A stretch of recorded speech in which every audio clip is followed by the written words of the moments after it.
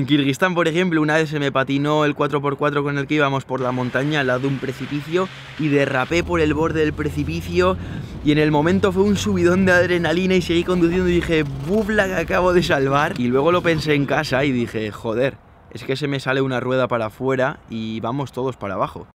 ¿Qué pasa amigos? ¿Cómo va eso? Bienvenidos a un nuevo vídeo De nuevo en España, primer vídeo por aquí Aunque no es el primer vídeo que grabo por España. Hace dos semanas grabé junto a Íñigo un vídeo en Madrid Que lo tendréis en el canal en unos días Pero sí que es el primero que estoy ya aquí en casita Y no me preguntéis por qué estoy grabando en el cuarto de mis padres Pero es que he venido y lo veo con otros ojos. De repente este encuadre me encanta. Está jodiendo el sol todas las tomas que se pone y se quita todo el rato. Podría haber hecho unas tomas bonitas aquí preparándome un café y demás Pero es que esto es puro postureo. En realidad estoy estoy bebiendo agua.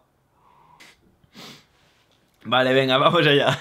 Muchos de vosotros lleváis meses y meses y meses pidiéndome que hiciera de una maldita vez un preguntas y respuestas y he dicho, vale, me voy a Sudamérica ahora en un mes prácticamente, así que voy a aprovechar de hacerlo en este tiempo que estoy aquí y que si no os habéis enterado y no habéis podido hacer vuestra pregunta es porque aún no me seguís en Instagram, porque es aquí donde he estado hablando con un montonazo de vosotros. Y si no me seguís tampoco habréis visto nunca esta cuenta con todas las fotos que subo, pero es que ya somos más de 30.000 en la familia de Instagram, así que muchísimas gracias con todas las fotos que voy dejando por aquí Y que he recibido cientos y cientos de preguntas. O sea, muchas gracias a los que habéis estado por aquí Dejando vuestra pregunta y apoyando este vídeo Porque ha sido bestial. Decir también que como el canal está súper enfocado y súper potente en tema viajes Ha sido casi todo. Preguntas sobre viajes Preguntas sobre qué llevo cuando viajo Así que si queréis un vídeo específico junto a Íñigo además Que ya sabéis que es también un auténtico viajero Así que los dos contando todos nuestros tips, nuestros trucos para viajar ¿Qué llevamos en la mochila? Si queréis un vídeo con todo esto,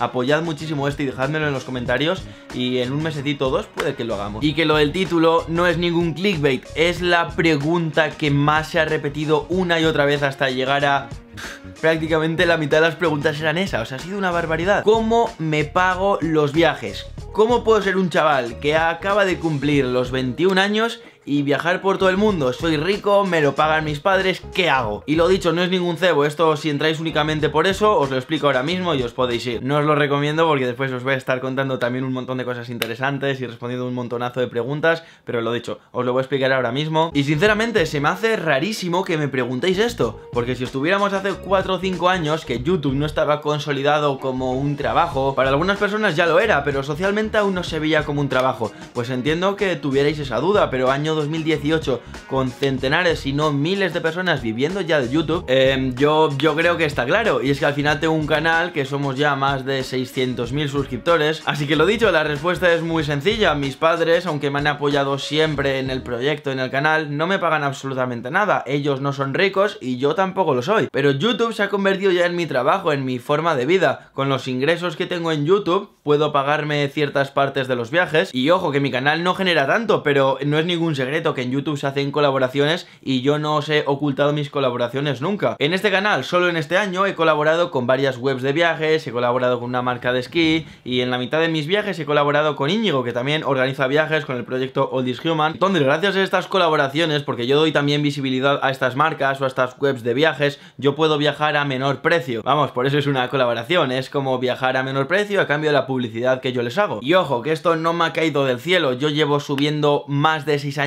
vídeos todas las semanas, me he esforzado muchísimo, he invertido muchísimo tiempo y muchísimo dinero en que esto salga adelante y ahora por fin estoy empezando a recibir los frutos, a recoger todo lo que he ido sembrando en este tiempo. Así que bueno, ya lo tenéis completamente claro espero. Y dicho esto, nos vamos a ir para la calle. La idea era ir con Kira, porque en muchísimas preguntas me habéis dicho que por favor saliera Kira en este vídeo. El problema es que aquí en Castro, donde yo vivo, hay una fiesta local, por lo que están tirando petardos y cohetes y a Kira esto le da mucho miedo. Voy a llamarla para que la veáis por lo menos, aunque va a estar escondida por aquí debajo de la cama, creo.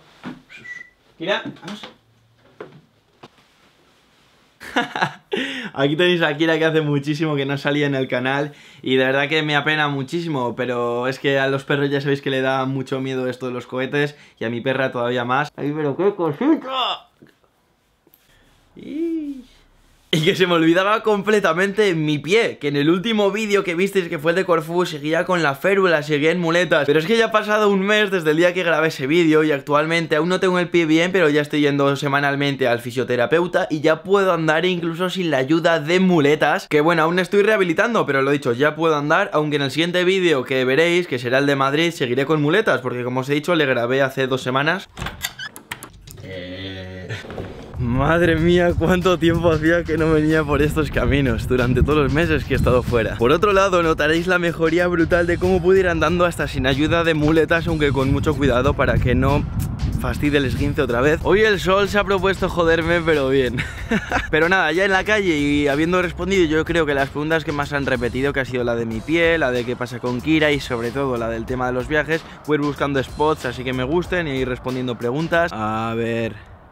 Y ojo, que en este vídeo también voy a contar muchos tips para viajes o mucha otra información útil. Mira, por ejemplo, Alex me pregunta una que sí que he ido viendo que se ha repetido mucho y es que cómo lavo la ropa cuando estoy de viaje. vale, siendo sincero, la ropa cuando estoy de viaje la lavo mucho menos que cuando estoy en casa. Pero como imagino que no os bastará con esto que os acabo de contar, decir que casi todos los hoteles con un mínimo de calidad ya tienen una lavandería en la que por 3-4 euros te lavan toda la ropa. El problema es cuando en ese hotel solo vas a pasar una noche como nosotros y por eso no nos da tiempo, pero si vais a pasar 2, 3, 4 noches o más, os va a dar tiempo y por ese poco dinero os la lavan. En caso de que vuestro hotel no tenga para lavar ropa, pasáis a hacer lo mismo que hacíamos nosotros en la India, que era coger un cubo de la basura que había por ahí alguna habitación o incluso en algún pasillo, comprar una pastilla de jabón, llenar el cubo de agua y empezar ahí los tres a frotar y después colgar la ropa llena de jabón porque ni siquiera la aclarábamos. Así que bueno, voy quitando el trípode para irnos al siguiente spot porque lo tenía puesto en una torre de alta tensión.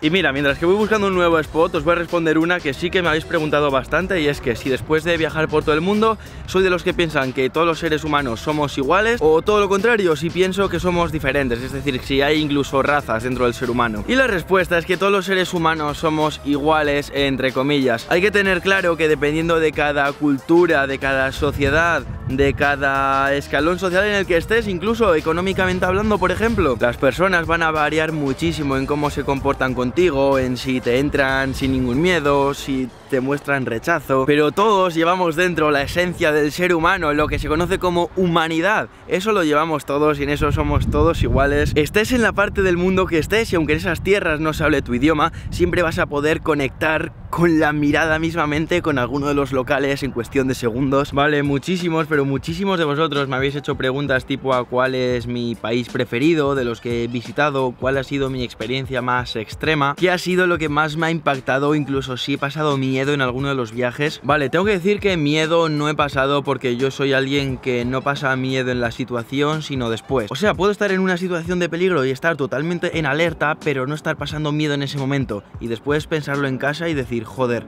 mira la situación en la que he estado y mira lo que me podría haber pasado. Pero lo dicho, las cosas para bien o para mal las pienso después de que hayan pasado. Y esto a la hora de la verdad puede que me haga ser un poco más inconsciente, pero me deja pensar bastante más claro en mi opinión. Y respecto a las otras preguntas, yo no tengo ningún país favorito, pero es que no tengo nada favorito en la vida. No os podría decir ni comida favorita, ni canción, ni color, ni película. Aunque sí que es verdad que los países que más he disfrutado han sido Islandia, Kirguistán probablemente también, Birmania cuando estuvimos en la región chino, incluso buceando en Filipinas. Venga, voy a responder alguna más aquí ya que no estoy encontrando muchos spots para dejar la cámara en este camino. Algunos como Ángel CR24 me preguntabais que si no me resultan muy duras las rutas con comida militar, que paso horas y horas y horas andando solo por la montaña. Son muchas horas sin parar de andar y de andar por la montaña, cansa muchísimo, pero precisamente yo quiero ahí ponerme un reto físico. Tampoco es nada límite, pero sí que para mí algunas han sido verdaderamente duras. Por cierto, el tema Sudamérica, Centroamérica, Latinoamérica en general, decir que los países confirmados por ahora, cosa que ya he contado por Instagram, son Cuba, vamos a estar también en México, Colombia, Venezuela, Perú, Bolivia. Nos encantaría añadir algún país más, pero por ahora los confirmados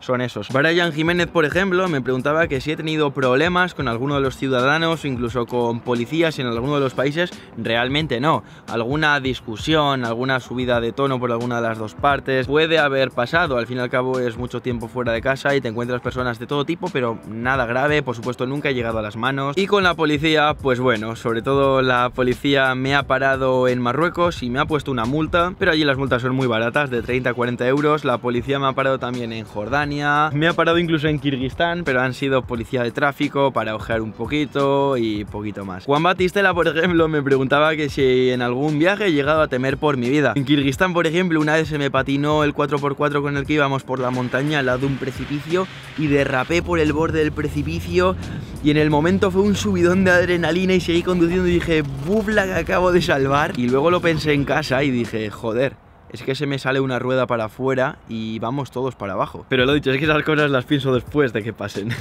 Sara, por ejemplo, me preguntaba que si hay alguna zona del mundo o país en el que no entraría o por el que no pasaría. Esto que os lo cuento en exclusiva total. En junio de 2019 entraré junto a Íñigo y a Luis en un país que probablemente esté en el top 3 de los más peligrosos del mundo. Vosotros haced vuestras apuestas, dejadme en los comentarios de qué país creéis que estoy hablando, que seguro que acertaréis. Y ahí lo dejo, así que bueno, sí que hay algunas zonas por las que no me gustaría pasar, pero a la vez esas zonas me intrigan muchísimo para ver cómo es allí la vida, así que iré con cuidado. Ah, sí, vale, muchísimos de vosotros, como por ejemplo por aquí Roxana, me habéis dejado preguntas sobre mi pelo, ¿qué hago para cuidármelo? Y es que lo he dicho mil veces que no hago nada extraño, sí es cierto que aparte de champú me he hecho suavizante para que me lo pueda peinar, básicamente. También algunos, como Chole Figueroa, me habéis pedido consejo para poder viajar porque decís que os gustaría muchísimo pero no tenéis los recursos. A ver, esto os lo digo de verdad como ánimo, que yo tengo tengo 21 años y esto no me ha quedado el cielo. Llevo luchando por estos 6 años y he podido empezar a viajar yo por mi cuenta de continuo hace unos meses, o bueno, hace un año exacto. Entonces, si de verdad queréis empezar a viajar y no tenéis los medios, como me ha pasado a mí hace un par de años mismamente,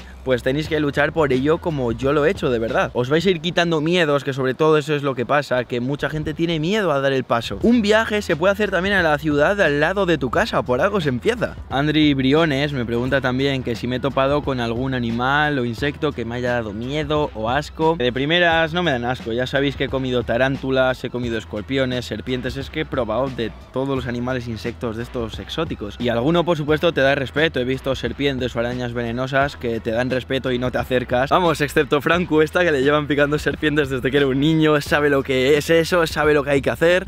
Pero vamos, si sois alguien que no tiene experiencia, que no sabéis del tema como yo, no hagáis el tonto con animales venenosos. y menos lejos de casa, como yo, que la podéis liar. Jackie quiere consejos para empezar a viajar como mochilera o como mochilero. Yo doy el mismo siempre, que no tengáis miedo. Y ojo, que esto no se malentienda, el miedo es muy bueno para estar en alerta en situaciones de peligro. Así que por supuesto yo también tengo miedo, pero lo utilizo para algo positivo, no lo utilizo para ponerme excusas. Entonces donde quiero ir a parar es que solo tenéis que dar el paso. Por ejemplo, Laura Merchan me preguntaba que si haría un vídeo con tips para viajar barato. Esto lo metería en el vídeo que ya he dicho que puedo hacer con Íñigo, así Así que lo dicho, de nuevo, dejádmelo en los comentarios a ver si queréis ese viaje. Perdón, ese vídeo. ya todo hablar de viajes y viajes, ya me estoy liando. O Miguel que me pregunta cómo puedo asociar el trabajo a la vida de aventuras que tú llevas. Porque claro, yo puedo llevar esta vida tan de continuo porque precisamente el vivir esas aventuras se ha convertido en mi trabajo. Pero alguien que su trabajo es, por ejemplo, estar en una oficina, en un taller o donde esté, pues ¿cómo hace? Pues a ver, lógicamente no va a poder viajar igual tanto tiempo al año. Pero siempre todo el mundo tiene vacaciones o te puedes pegar tus escapadas o si estás harto de tu curro te puedes pedir incluso sin dejarlo el año de excedencia creo que se llama, al menos en España, en el cual puedes irte un año y si quieres luego vuelves a él. Así que bueno, sé que no es fácil, sé que hablarlo es muy fácil y que después en la práctica no es cosa sencilla y menos coger y dar el paso. Pero yo tengo muchos colegas que he conocido aquí en los viajes con Íñigo que lo han hecho y que no se arrepienten para nada, así que voy a ir ya regresando para casa porque me estoy quedando sin batería y que tengo más baterías, pero como es una nueva cámara todavía no la tengo del todo pillada y se me ha olvidado completamente. Se me tensa la pierna muchísimo mientras que ando y es que después de estar con la férula la musculatura se ha resentido muchísimo, ya no resiste prácticamente nada. Así que nada, tengo que empezar a andar bastante para recuperar. Ese Hook me preguntaba por ejemplo que qué opino de viajar en solitario. Y opino que es la forma tal vez más complicada, opino que es difícil dar el paso, opino que incluso yo mismo pocas veces lo he hecho, pero opino también sobre todo que es la mejor forma de integrarse en la cultura, integrarse con los locales porque al final no tienes ningún apoyo, no tienes ninguna persona con la que ponerte a hablar, así que vas a entablar conversaciones con el del hotel, el del restaurante o la chica que conoces en la playa. O por ejemplo aquí mientras que entro al ascensor, a ver... Arelis me pregunta que qué metas tengo a corto o largo plazo. Realmente mi meta no es tener muchos suscriptores, eso es un número que representa que la familia es grande, o sea que es importante también, pero bueno, mi meta es ser un referente a nivel mundial en el tema de estos viajes extremos, pero no por fama ni mucho menos. De hecho, eso lo dejaría de lado, sino por saber que todo lo que hago sirve, como digo, como referencia, como enseñanza, como inspiración para muchas otras personas de todo el mundo. Y eso me encantaría, y de hecho en parte ya lo soy para muchos de vosotros. Lo que quiero que esto siga continuando y que el, lo que digo, que vayamos muy lejos, muy lejos entre todos. Mirad quién está en la puerta. Ay, ay, ay, nena. Ay, ay, ay. Venga. Mirad quién está por aquí.